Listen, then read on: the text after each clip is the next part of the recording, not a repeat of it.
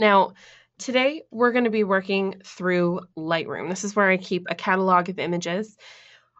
All of the changes that we make inside of perfect black and white, it doesn't matter what program you start out with.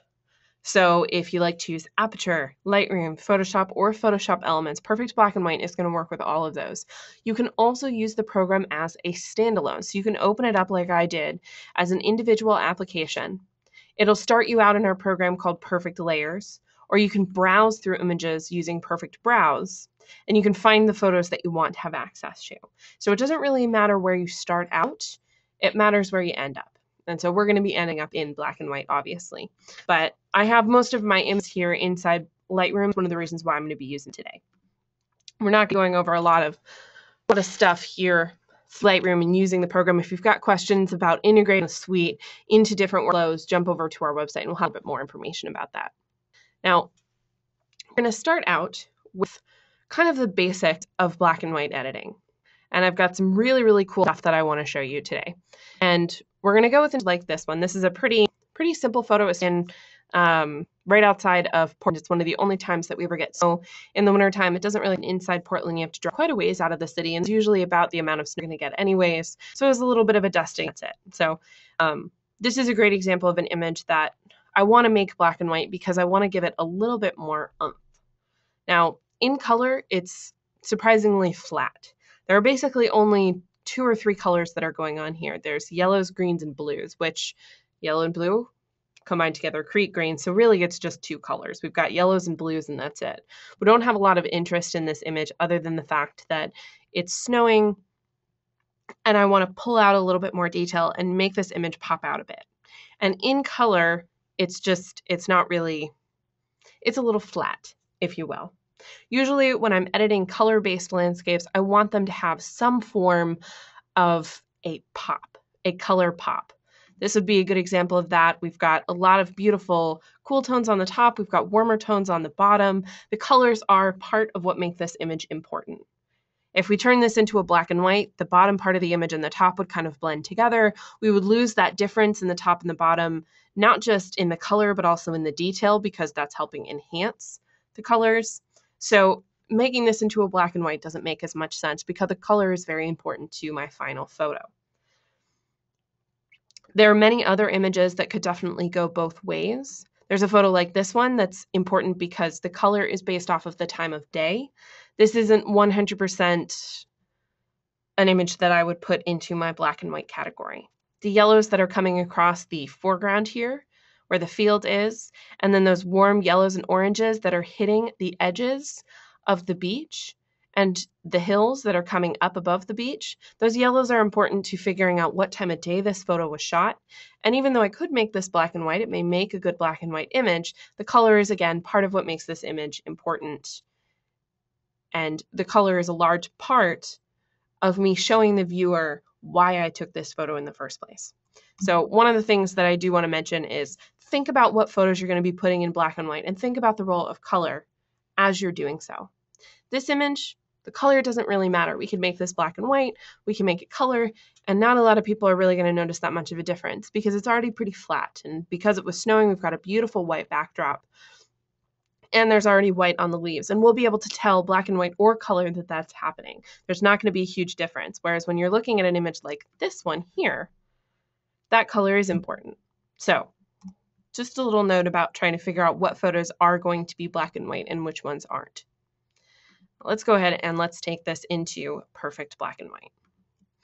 Just going to right click and go to edit in and choose perfect black and white. And I'm going to make sure I edit a copy of my image just so that I don't destroy my original photo. That'll give me the ability to come back and re-edit again if I'd like to.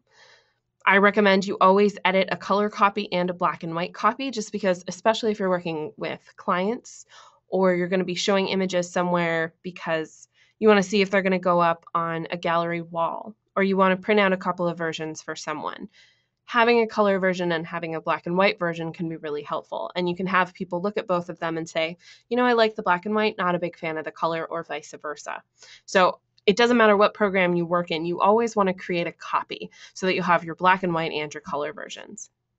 We're going to go ahead and click edit and we're going to jump over into the program. Now, landscapes are going to be a little bit different than working on portraits. Whew, tongue tied there for a second. One of the great things about landscapes is that you've got a little bit more leeway when it comes to working with detail and when it comes to working with contrast. If you're working on portraits, and you'll probably hear this a lot when when doing black and white based editing on portraits. You want to be careful of how much detail or contrast you add to the image because that can affect the way that the person the person's skin looks. If you're working on beauty portraits especially adding a lot of detail and making it extremely high contrast can change the way that the skin is not just shaded but if you add too much detail it can make their pores pop out in places that you don't want. It can make their clothing look really gritty because the detail can go overboard on things like knit and cotton based clothing so there are lots of reasons why high contrast, high detail images when it comes to portraits are not always the most popular. Usually the only time you see that is when you're working on images um, shot with very slim lighting. Um, usually it's athlete based photos that you'll see that on. A lot of Nike advertisements do this where they have very, very thin lights on the edges of a portrait and then they pump up the detail. That's one of the only times you're going to be able to do that. When you're working on landscapes, you can add as much detail, as much contrast, and as much high intensity as you want without having to worry about over over detailing someone's skin or someone's face. Now, the first thing that I like to do when I'm working on an image in black and white is I like to go over and jump to the tone pane. You want to make sure that you've got a pretty good exposure for your image as you start out. Now, this is because I'm going to be doing everything manually today, which means I'm not going to be working with the presets. However, I'm going to go ahead and point them out just because the presets can also be extremely useful. If you're new to Perfect Black and White, you haven't really had a lot of time to get to know the layout, the presets are a good place to start and they affect all of the different panes that you can access on the right hand side of the screen. And I'm going to close them up here just so that we can take a look. You have everything from tonal information. You can add things like glows, film grains, toners. You can finish images off with vignettes, borders, and sharpening. So we've got all of these different panes on the right. And each one of the different presets that you apply will adjust the panes over here. Now, there are many different ways that we can go with landscape images. One of the most popular presets that you're going to find out there for landscape photos is this one called Ansel in the Valley. And if you find a preset that you really love, just click on it once and it will add it to your photo and then it will adjust the right hand side for you automatically. So you'll see it added film grain. You can take a look at that on off switch on the right hand side. So it added film grain, it added a toner, it added vignettes, and then it also went in and adjusted things in the tone pane. If you don't like a preset for whatever reason, just click on another one and you can see whether you like that one better. Now, one of the best parts about working with presets is that you can get some really interesting results. You can also see things that you may not necessarily have seen the first time around. This image here is perfect for doing some form of a film style treatment on it. Because it's a pretty flat photo in general, there isn't a huge amount of interest in this image other than the fact that the trees are beautiful, they're coated in snow. We can see a little bit of the snow coming down just in the foreground of the image, but it doesn't have a huge section of interest like a photo. I'm actually going to pop over.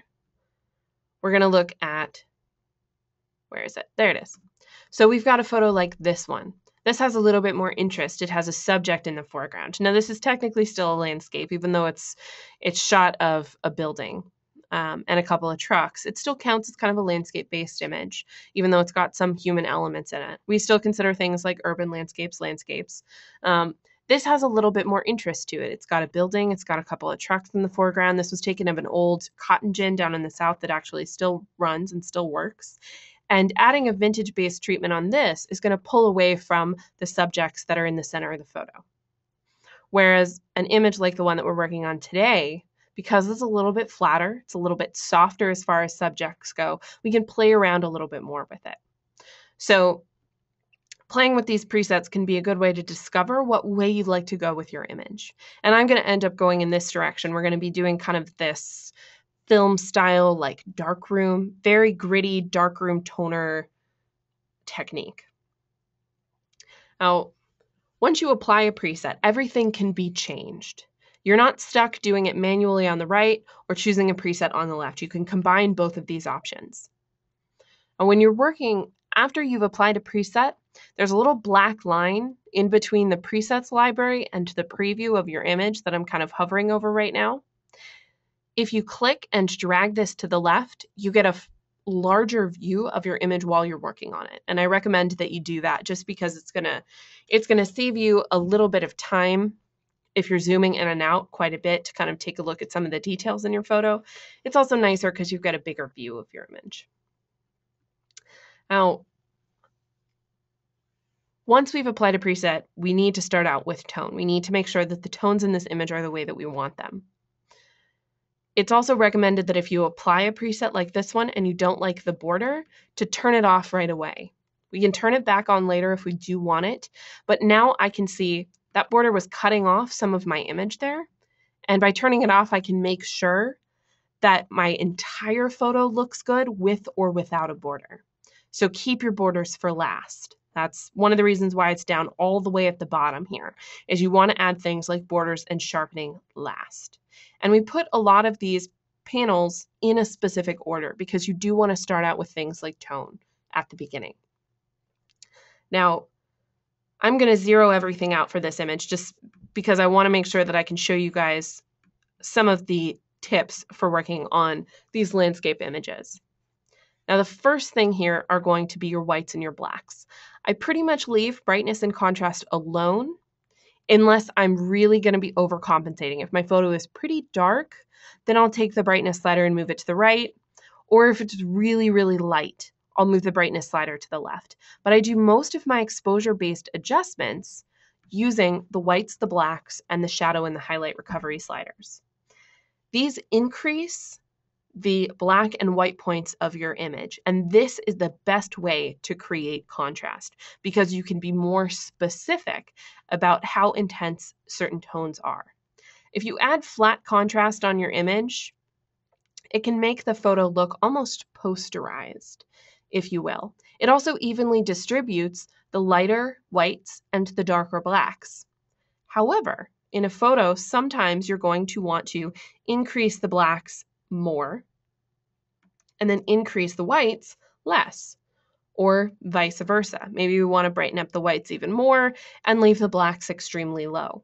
So these whites and black sliders are going to give you more of a manual adjustment, and that can be important. It's also really nice because you still have your shadow and your highlight recovery sliders. So if we need to go through and recover some of the highlight information, and by pushing the highlight slider over to the right, you'll see that the sky is getting a little bit darker we're almost adding a bit of a fade, which is very significant when you're working on film style looks, because you'll see this a lot in the darkroom. When you print out a photo, you're going to get kind of a, a fade or a haze over some of the highlights in your image or the shadows in your photo, and that's very indicative of working in the darkroom. So I can take my highlights slider and move it over to the right to make sure that I maintain that softness in the brighter, whiter spots of the image. And then the last slider down here that's really important is going to be detail. Like I mentioned before, we can pump up the detail, which is basically, it works very similarly to local contrast, which I'm suspecting a lot of you guys have probably used before. It's just going in and it's going to be crisping up the details in the image. And you can really see the difference as I push it over to the right. Now, pushing it all the way to 100 can get you something that looks a little overdone, it's up to you how how much of this style you want on your photos. This is pretty popular these days. You'll see images that have kind of a lot of local contrast. They've got that almost faux HDR style to it. That's not usually how I like to edit my images, so I keep my detail slider below 50 um, with landscape images because it seems to help avoid that kind of crunchy look that you can get around the edges. Now, we're going to keep on we're going to keep on talking about a lot of the other panes, but one of the last things that I want to mention are clipping masks. And if you've if you've done any heavy editing in programs like Photoshop or Lightroom, or if you've ever been to a talk or a conference about photo editing, you'll hear all about histograms and clipping. Now, the histogram you can actually find on the top right hand corner of your screen. Right now we've got the navigator on so we can navigate around our image. And then when I click on the histogram, this is a distribution of the whites and the blacks in my image. The left-hand side right here is going to be your blacks and your shadows. The right-hand side, this is going to be the spike in your highlights and your whites. And then the center here are going to be your midtones. If you want a high contrast look on your photos, you want to make sure that you've got a higher peak on the far right and the far left, and then you want a larger dip in the middle where the midtones are. So as I push the black slider to the right and the white slider to the right, you're going to see we're getting these, I'm going overboard obviously, but you can see these huge spikes on the left and the right in the whites and the blacks, and it's keeping those midtones nice and low. If I drop everything down to zero and we'll decrease the contrast, you'll see now I'm getting this large bump in the middle, which means my midtones are popping out. It's it's independent per person as to what they think looks best. Um, I typically like my photos to have a higher contrast to them. I think it gives them a little bit more oomph, a little bit more of a pop. Some people like that kind of flatter, grayer look just because you're getting all of the tones in an image. This photo doesn't really need it. There isn't a lot of information in the sky. I shot it so that I could I could expose more for the foreground than the than the bright white sky. So there's not much I'm worrying about as far as clipped highlights or clipped shadows. Now what the word clipped means, and I've used this a couple of times now and we've talked about clipping, is clipping indicates the bright whites, white whites, and the dark blacks in an image that will be printed out on a, on a piece of paper. They will be solidly white or solidly black.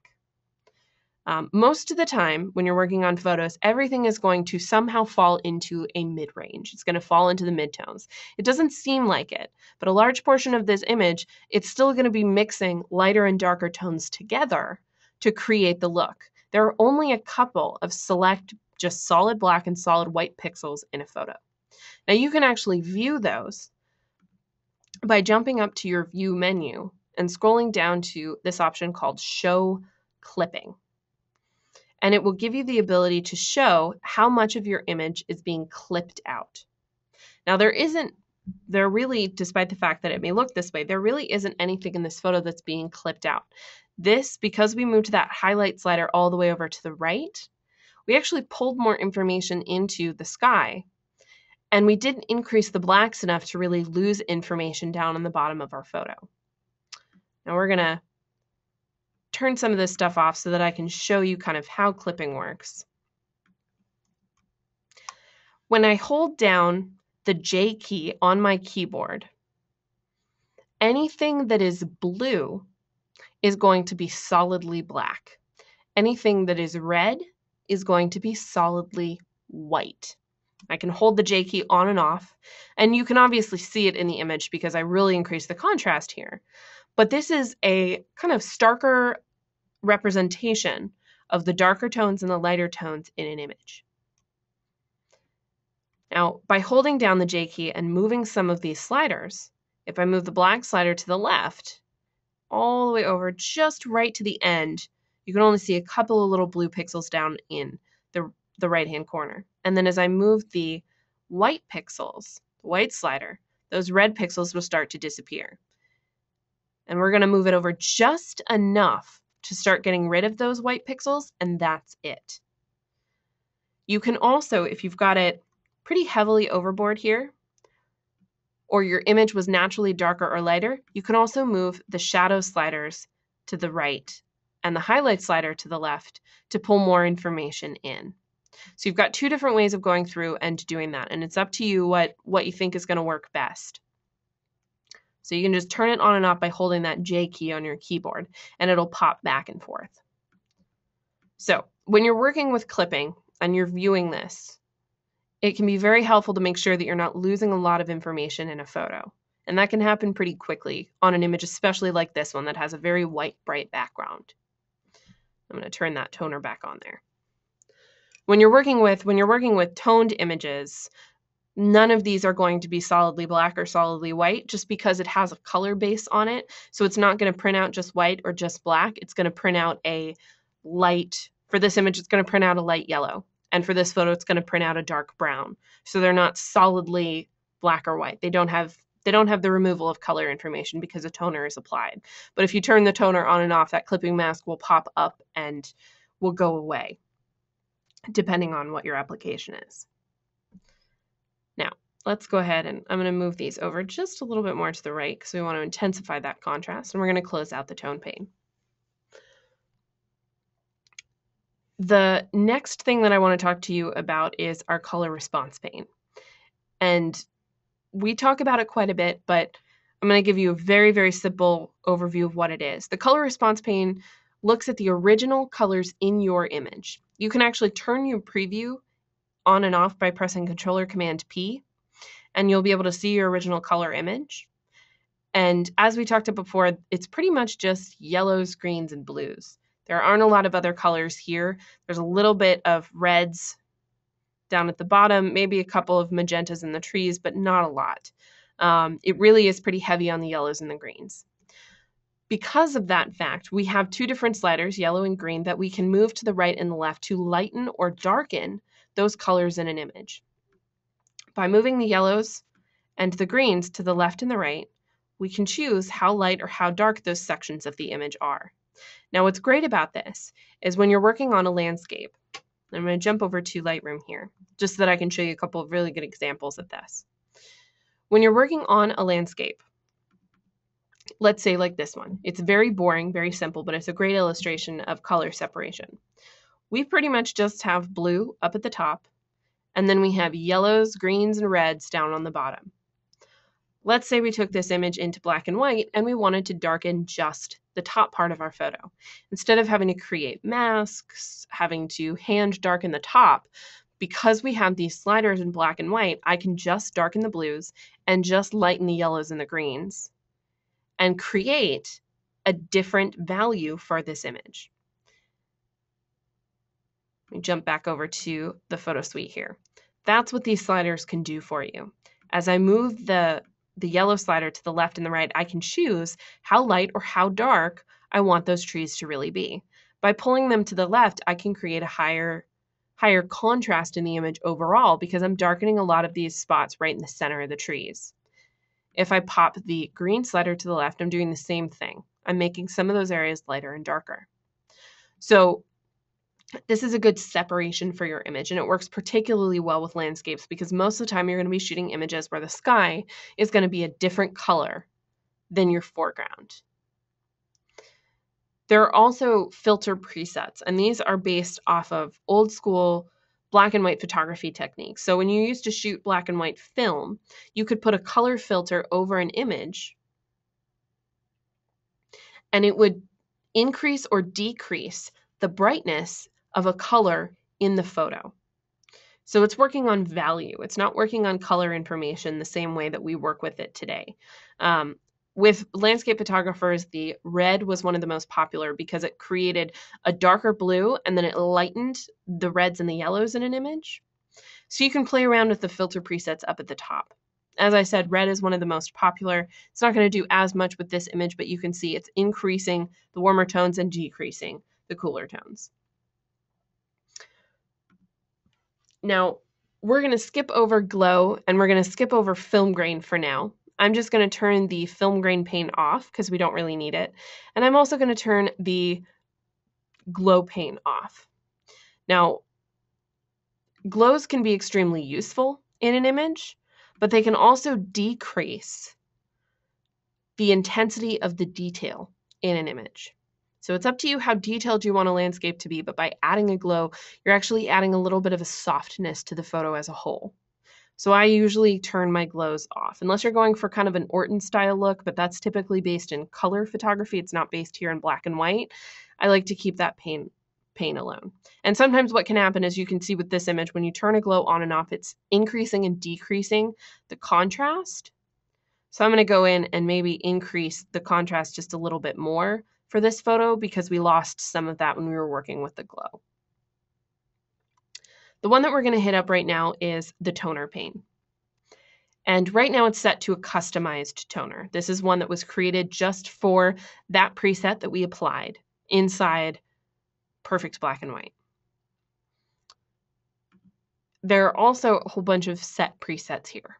Now, the most popular, I would say, for landscapes is going to be something called selenium.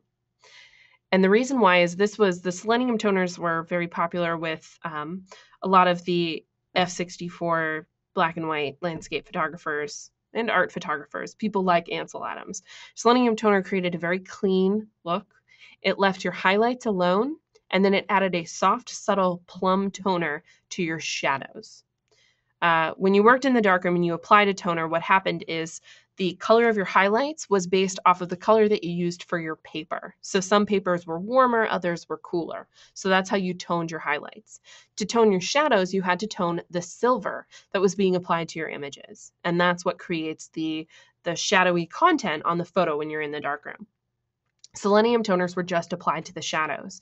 And so you had stark bright whites, which created these beautiful beautiful backgrounds for your images. And then it created this very soft, subtle plum color for your shadows. And it gave the image a little bit more of a punch than toners like sepia.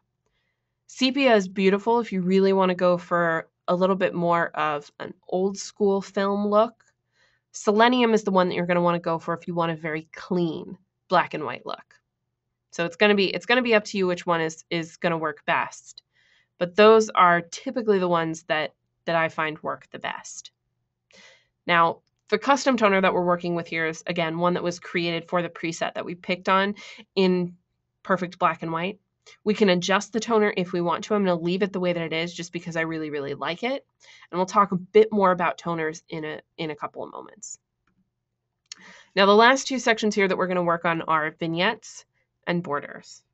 Now that we're actually at the end of our editing process, we can turn our vignettes and borders on if we want to. I'm gonna go ahead and turn my border back on because I really like this. It's it's Type 55 film.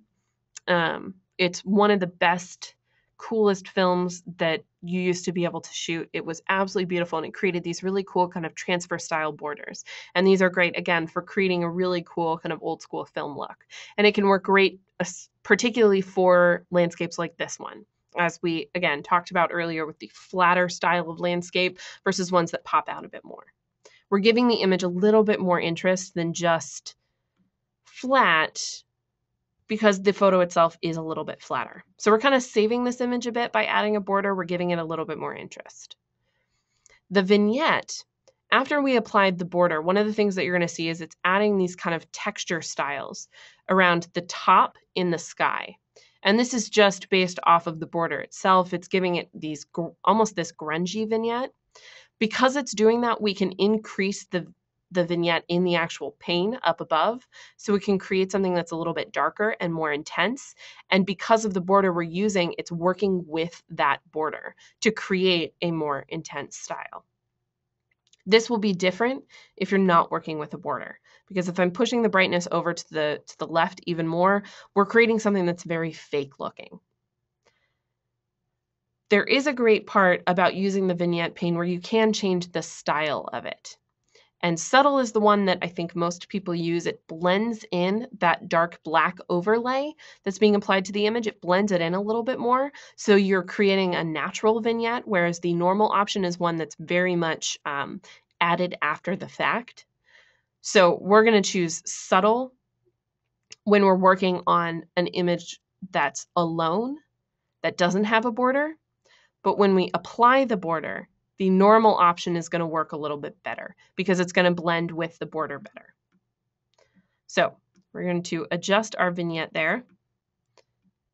And once we are done and we've got our vignette and our border applied, the last thing that you're going to want to do is apply sharpening.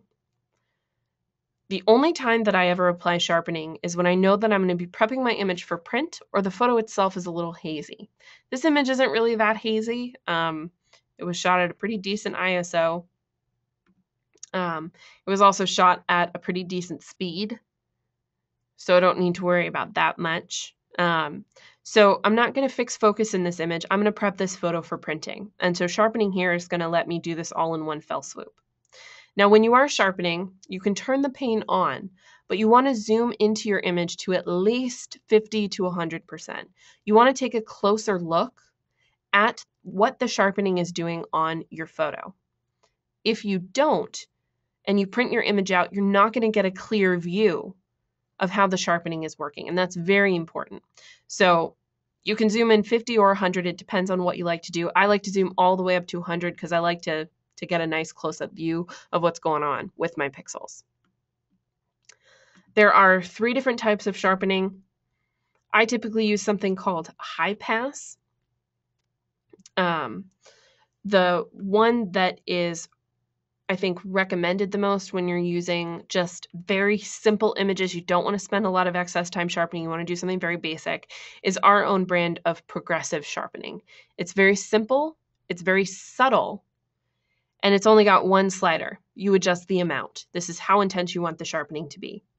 You also have sections where you can protect the light and dark tones in your image from excessive sharpening. And I always push these up. You want to give them a little bit of a bump so that you don't add too much sharpness in the bright highlights and the dark shadows. Now, the amount slider, I'm going to drop it all the way down to zero, and we're going to be able to take a look at our image without sharpening. This is what our photo looked at looked like without any sharpening on it. When we push it to the right, it's going to take a second to render, and you'll be able to see it when it happens. This is what our photo looks like with sharpening. You don't want to add too much. I almost always keep my progressive sharpening under 30 because it's just punchy enough that it makes the edges look very intense, but it doesn't go overboard. You don't want to be able to notice that you've over sharpened an image when you're pulled out at the full view. So by keeping it pretty low, it's going to help fix the problem that you're going to run into when you print the photo out. You're going to get a softness that comes when you print your images out through a printer. Um, and that's just the way that printers work. They add this kind of soft haze over the image. Adding the sharpening is you're counteracting the problem that you're going to run into the printer. So you don't want to see a huge difference in your before and after image with sharpening at a full view like this image. Once we're done here, I'm going to go ahead and I'm going to click the apply button and it's going to go through and add these effects and we're going to we're going to jump back into Lightroom. And this will this will end up being my my final image. This is going to be the one that we're we're pretty much done with at this point. And we're going to take another photo in and I'm going to talk a little bit more about some of the other options you have in black and white. But this is one way of editing a landscape in the program. I went more for a classic film style look just because that's typically what I like. But this is the image that we started out with. It's a little flat. It doesn't look great in color. It doesn't have a lot of interest to it. Um, I like the idea of the photo because it was a beautiful day. It was snowing, but maybe I didn't have a tripod with me. Maybe I didn't get the right angle or the right exposure that I was looking for. So taking it into black and white, adding a specialized treatment to it, we ended up with this image here. Much more interesting, much more beautiful. The tones look great. We have a border that actually adds interest. It doesn't detract from the photo. And we have a toner that matches the style of what we were going for. We wanted that vintage look. We wanted something a little bit more retro. Now, if you're not going for retro, which I do not blame, you do not blame you at all if you're not going for retro. There are many other ways that you can edit an image. So we're going to take another image in this is obviously very different than the one that we saw before. This is multiple different files combined together. Um, we have a lot more work that was gone into the, for instance, the stream, making sure that it looks nice and soft. We've got everything very crisp. Everything is very much in focus. We've got a little bit of drop off in the back, but you can really see all of the moss and the leaves in the foreground. So this is obviously going to be a very different image than what we were just working on. So we're going to do a slightly different treatment for this photo. All right, so let's jump into perfect black and white. And let me click on edit. It'll transfer us over. Now, when you are planning on shooting for black and white purposes, it is recommended that you still shoot in color. You'll see that all of the images in this category in Lightroom, they're all still in color. They weren't shot in black and white. You don't ever want to do that. You want to pull in as much information as your camera can. And as I showed you with that color response pane in perfect black and white, it's important to save that color information because you can create some really interesting and very unique looks just by accessing the original colors. So always make sure you shoot in color. And the other thing that can be very important, I'm going to jump back over to Lightroom one more time, is looking for looking for geometry in real life. That's kind of how I think of it. You want to look for things like straight lines. You want to look for interesting points of focus. You want to look for high contrast situations. If that if that really is the style that you're going for, high contrast can be great. So an, an image that may have a brighter sky or a darker foreground can actually be very beautiful in black and white because you're creating a stronger difference in values. When you're working on color and you create a high contrast look, which I'm going to do for this image, I'm doing it on purpose, is when you're creating an image that has high contrast to it, you're getting oversaturated colors. You're paying attention to the fact that someone obviously did something to this image that's causing the photo to look wonky. But by removing the color information, you're paying less attention to the color and more attention to things like point of focus. You're paying more attention to the lines, in the image itself. You're not necessarily paying as much attention to the fact that the sky is blown out because you've got much more down here that's highly detailed, that's got more umph to it. So color can actually be a distraction. And in an image like this one, which we're going to go through and we're going to zero both of those out. Um, in an image like this one, in color, it may not necessarily be exactly what I'm going for. But in black and white, I'm getting a different view of an image that I may not have gotten. We're pulling away some of the excess information so that we can hone in on what's really important for a photo. So, looking for things like specific types of focus, looking for geometric lines, looking for things that already naturally high contrast environments, those are going to create really beautiful black and white images. You also have the ability to do things like this photo where you pull everything into focus and you create a really stunning black and white HDR style look. Now, for this photo here, we're actually, we're gonna leave the preset library on the left-hand side that we closed out. We're gonna leave that the way that it is. We're not gonna choose a preset. We're gonna start from scratch. So many different ways that we can work in black and white. Just like we mentioned before, you wanna start out in your tone pane. You wanna make sure that the tones in your image are the way that you want them.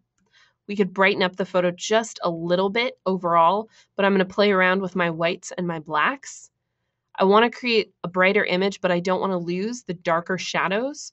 So we're going to leave the contrast slider alone as well. And we're just going to play around with these whites and blacks. I'm going to take the detail slider and move that over to the right. We want to maintain as much high contrast detail as we can. This is an image that we could definitely go a little bit more overboard with. So we'll move that over quite a ways. I think I hit almost the same number as the last image there and then down to the color response pane. We're going to close out the tone pane. These are going to be instances where the filter presets are going to be fun. This is what it looks like with no filter preset. Everything is zeroed out. This is what it looks like with a red filter preset. Take a look particularly down in this bottom right hand corner at the flowers and the leaves as we turn this on and off. Everything looks very flat down here. There isn't a lot of high contrast. But with the red filter on, we're creating more contrast in some of these areas that we didn't see it before. We can click on any of these to play around with them. Green is going to be extremely high contrast because it's going to brighten the greens and the yellows, and it's going to darken the reds and the blues, which is very interesting. And then there's also something called infrared. This will darken everything except for the yellows in the photo. This can create a really, really, really strange look on your images. I really like the infrared filter with or without these brighter yellows. I'm going to darken them just a tad, but we're creating something that's much more interesting than what we started with. So we can turn it, this is what it looks like with none. This is what it looks like with infrared. I'm going to manually adjust some of the yellows and the greens because they're a little too bright, but not a lot. We're going to leave it the way that it is. And pop that closed. Now, the toner pane here, I'm going to turn on, and this is a great image for a selenium-based toner. We want it to be very clean and very sleek. And adding a kind of like cyanotype or maybe a copper filter, even the sepia tone filter, they're not lending to the, the clean clean, crisp lines in this photo. Whereas the other image, we didn't necessarily have as many clean, crisp lines. We didn't have everything in focus. It was a little bit softer, a little muddier. So uh, a warmer toned toner looked great. But because this image is so intense as far as detail goes, the selenium is going to lend to those bright whites and then those very beautiful blacks and everything in between. So we're going to choose selenium. What's really cool about the selenium toner is you have a balance slider here. This will adjust how intense the shadow or the highlight colors are. So if we move this over to the left, the image is going to get a little bit darker. And if we move it to the right, it's going to get a little bit brighter. And that's just the fact that there is white being applied to the highlights and purple being applied to the shadows. And so moving this mix is going to choose how intense each one of those colors are. So we're going to drop that back down to 30. This can also be an image where a glow could be useful, and it doesn't seem like it right away. There are many different types of glows that you can apply to a photo. And one of the ones that can be very popular if you want a darker, deeper, kind of sleepy hollow style image is the multiply glow, which you'll find underneath the style drop down menu. It's going to add a soft glow to the darker shadows in the image and even the darker midtones to create a more intense, deeper image. You're not going to lose a lot as far as detail goes when you apply a multiply glow. You're still going to maintain a lot of the information in the photo, but you're going to get these darker, softer blacks, and that can be really useful. I'm going to turn it off for this image, but I want to show that you can get a glow without losing information. Now, there are, we're going to go through and we're going to add a very basic vignette to the image. It's not going to be very it's not going to be very intense. We're going to open up that pane and open the style drop down menu and change this to subtle because that normal option looks very odd on this image. So we want to subtly blend it into our photo. And we can adjust the brightness as well as things like the size, so how close it's going to be towards the center, things like the feathering, and even the roundness. The roundness slider is actually really cool because it'll change the shape of the vignette. So you can either make a rectangular vignette or a round one. What's even cooler here is we're going to make that by dropping the feather down to zero, we can actually make sure that the size and style of our vignette are right. And we can make sure that it's in place before we add the feathering amount. So this is a good way to add a vignette because you're getting a visual representation of where it's going to go. And you can always push the feathering up later, but making sure that your size is right is more important first. So that's what we're doing here. So we're going to pull that back out and now we're going to add the feathering. And that's much better vignette. We'll go ahead and close that out. We're going to leave our border off for now because the last thing that I want to do is show you how to use our brightness brush. On the left-hand side of your image, there's a little tool well. We haven't talked about this yet. The top three tools are your brightness brush, which gives you the ability to brush in lightness or darkness. You have a contrast brush where you can paint in more or less contrast. And then a detail brush. If there's anywhere in your image where you want to add more detail or you want to remove some, you have that tool. You also have something called the selective color brush, which if used, I'm going to make it very obvious here you can actually bring back color information just by painting over your photo. So for this image, I could paint back color in, in a selective area of my photo if I wanted maybe just part of my image to be back in color.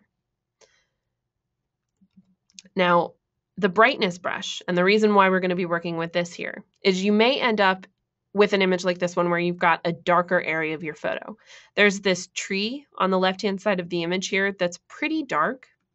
And I can go through and I can use my shadow slider to kind of lighten it up a little bit, but it's still pretty dark. And we don't want to ruin those darker shadows on the right-hand side. So we're going to leave our shadow slider pretty low, and we're going to choose the brightness brush.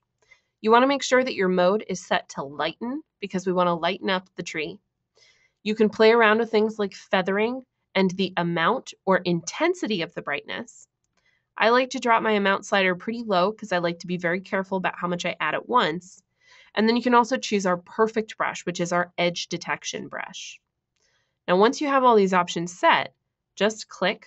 We're actually going to raise that back up so we can really see what's going on.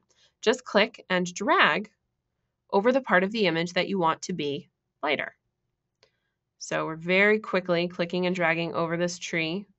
We're going over some of the branches here so we're going that one. Maybe lighten up that area there. You can use it multiple times if you want to lighten up multiple areas. So we're just clicking and dragging over these spots again. And there we go. So now we have a much brighter tree on the left-hand side. And if we swap our mode over to darken, we could maybe darken part of the right-hand side.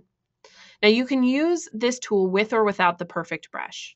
When you turn the perfect brush off and you darken, what can happen is you don't get a very soft edge on the area where you, you're darkening and your original image.